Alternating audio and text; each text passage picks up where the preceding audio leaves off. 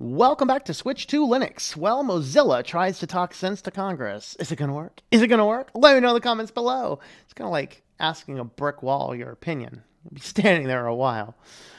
So uh, this article comes from Ars Technica, and I pulled actually all the articles here from Ars Technica just because uh, they had everything conveniently linked. And um, before we actually get into this, we have to go back to an article that I actually covered on my news channel about two years ago.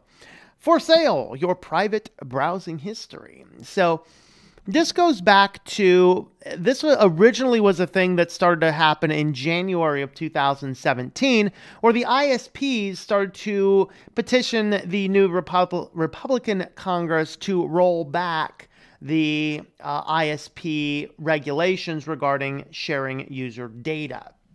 So, prior to this point in time, user data for ISPs was completely protected data, kind of like going to a movie store uh, and seeing what somebody else had rented. You know, movie rentals and library cards, things like that is extremely protected data. The reason? Because some congressmen got called out for the smutty videos they were renting from the local video store. And so some people initially just kind of basically said, hey, what you're searching for on the internet is basically the same level of thing, and nobody really questioned it. But when we started to have the attack on net neutralities and all these other things, right in the middle of all of this, the ISPs came up and said, hey, we need to be able to do something with this. And of course, some companies use this as a means to sell, uh, basically give people discounts if they were allowed to utilize your browsing data to um, use your browsing data to get out there and um, basically sell ads with it. My apologies. So this happened when this occurred. This is really when the latest big, huge boom of pushing and shilling your uh, VPNs happened to come about. Oh man, I was going to jump over to my uh, VPN banner here um, just for fun, but I don't have it on this uh, screen build. Uh, but anyway, uh, when this occurred, this actually did legitimize some of the use of VPNs to protect your browsing data from from your um, ISP. Now, it, all it did though is get kicked the can down the road to the VPN instead. And so, do you trust your ISP more or your VPN more? And neither one's really necessarily the best option. Now, uh, there was actually another video out recently while we're on the topic of VPNs that, you know, that the ISP cannot see the exact data going back and forth if that site is encrypted, but they can see the data on any site that is not encrypted and they can see what sites you are connecting to. And so this is now all out in the open. And so now ISPs can see all of the data that we have as far as what information we are browsing. Like they can see the top level sites we're going to, and there are not technically any restrictions on them using that data and selling your user data in any way like leasing it like Facebook does or outright selling it or or anything like that. So that's kind of what happened. Well, in the middle of uh, just the last couple months, we started to see things from both Google and Mozilla over what we would call DNS over HTTPS. In other words, called DOH, and you might have seen some pictures of Homer Simpson. DOH, DNS over HTTPS. So the idea here behind DNS over HTTPS is DNS is the no, domain name services. This is what tells the internet or tells your web browser where you are going on the internet. So when you are actually accessing servers, you're accessing servers through numbers. So IP numbers, you know, blah, blah, blah, dot, blah, blah, blah, dot, blah, blah, blah, dot, blah, blah, blah it's hard for us to remember all those numbers at all times. And so we have the domain name registration, and the domain names, all they do is they point to the server IPs. Now, it's possible to overwrite those.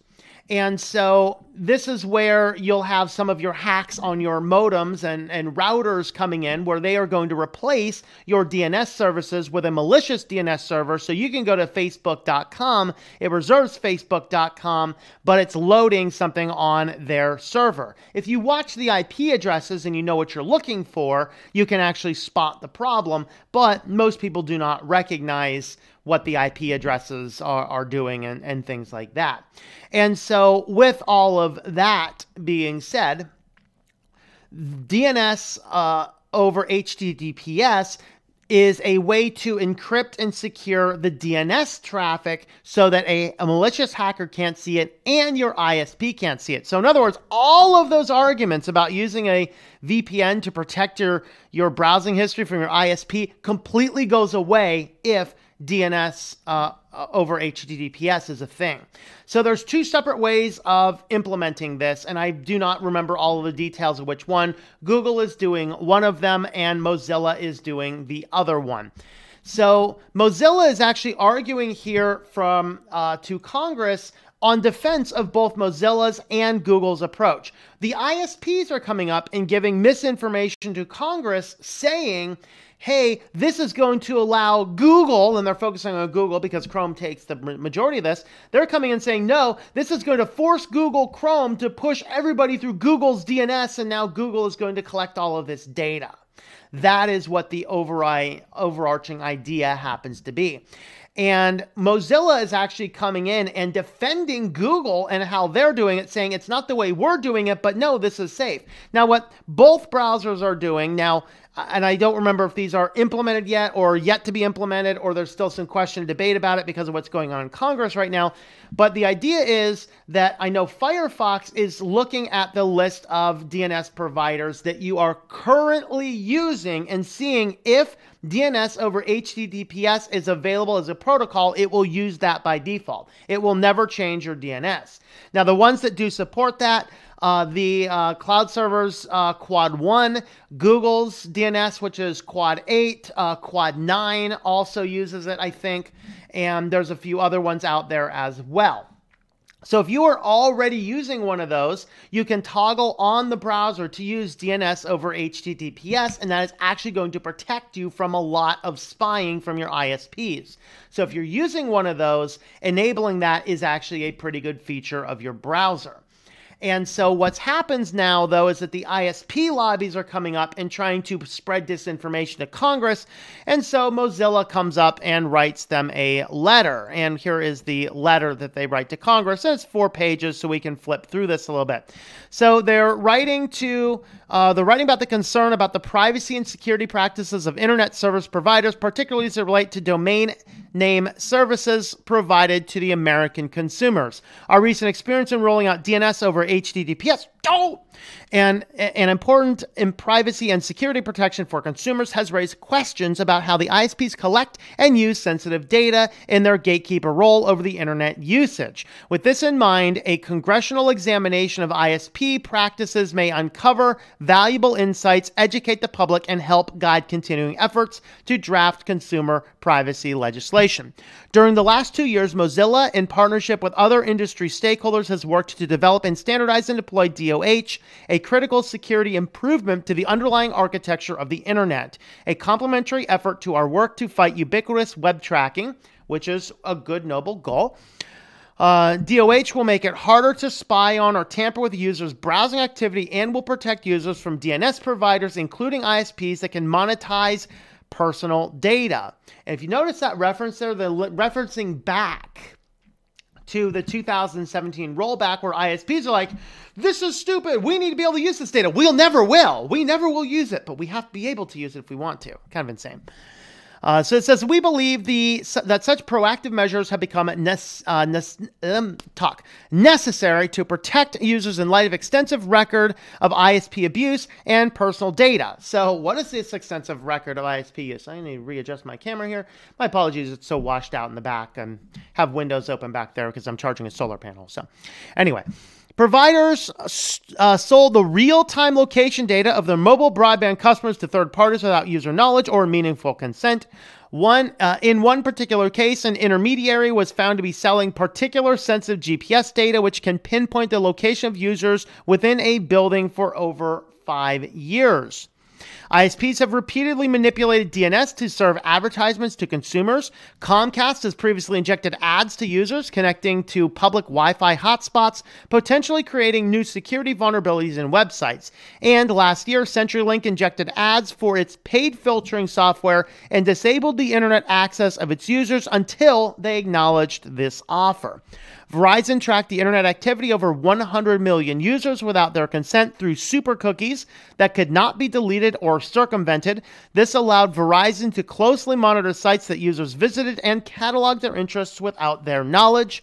AT&T operated a program that required users to pay an extra $29 per month to opt out of the data collection and monetization of their web browsing history for targeted ads. With the company ending the program after public criticism, it has considered reviving it in the current deregulated environment. So, four very major, very critical issues that are certainly reasons that we should be concerned. So they go on in their letter. Unsurprisingly, our work on DOH has prompted a campaign to forestall these privacy and security protections, as demonstrated by the recent letter to Congress from major telecommunications uh, associations. That letter contained a number of factual inaccuracies. These have been examined by detail, in detail by others, and as such, we will not be giving an in depth treatment here. Nevertheless, it's important to highlight the underlying premises of the, of the letter. Telecommunications associations are explicitly arguing that ISPs need to be in position to collect and monetize users' data. This is inconsistent with arguments that they made just two years earlier regarding whether privacy rules were even needed to govern ISP data use. With a 2017 congressional repeal of the Broadband Privacy Order, a substantial gap in consumer privacy protection was created. That gap still exists today. ISPs are people's gateways to the internet, and that gateway can serve as a data collection point, providing ISPs with unique access into sensitive browsing information. That is why broadband privacy rules would have required ISPs to get clear consent to use and share subscribers' information. However, those rules are no longer in place. Our approach with DOH attempts to close this part of the regulatory gap through technology and strong legal protections for user privacy. Mozilla's policy establishes strict requirements for, poten- uh, for potential Firefox DNS resolvers, including requiring that data is only retained for as long as is necessary to operate the resolver with service. That data only be used for the purpose of operating that service. That partners maintain a privacy notice specifically for the resolver that publicly attests to data collection and policies. Unfortunately, ISPs often do not maintain privacy notices for their DNS services. As a result, their policies are opaque to users. It is unclear what data is being retained, how it is being used, or who it is being shared with. At Mozilla, we believe that tr- to truly protect privacy in a combination of technical and regulatory solutions must be put in place over the last year. We have launched privacy features in the Firefox browser while strongly advocating for federal privacy legislation. We believe that more information regarding ISP practices should be useful to the committee as it continues to its deliberations on this front. We encourage the committee to publicly probe current ISP data collection and use policies. So there is what Firefox had to say. Very interesting stuff uh, in reality. And uh, overall, I would say that if you have the capability, the technical know how to enable DNS over HTTPS, it would probably be a wise thing to do. Um, I'm going to look into doing this myself. One of the things I want to do is I want to look into all of the, uh, the DOH providers and probably set one of those as my default through my router system. Now, I'm not a huge fan of Cloudflare. um, there's just some things that they've done in the past that make me a little leery of them. So I don't necessarily want to use Quad 1. Does anybody have any information about Quad 9? Um, who runs that? Who controls it? Things like that. That's something I'm going to be researching. If you want to drop any information, give me your opinions, good, bad uh, indifferent, let me know those um, in the comments. But that's what Firefox had to say. They're trying to talk sense to Congress. Chances are it's not going to work because, hey, here's Firefox. They're trying to do something good and noble here at this point in time, and uh, that just cannot compete with the the cash bags that the ISP lobbies are coming in bringing to Congress. So. Uh, that's kind of the thought. That's kind of the take, but uh, just be aware of it. And uh, if you are a person that likes to write your congressman, have them pay attention to this. And uh, just keep an eye out what's going on. Let me know your thoughts on all this in the comments down below.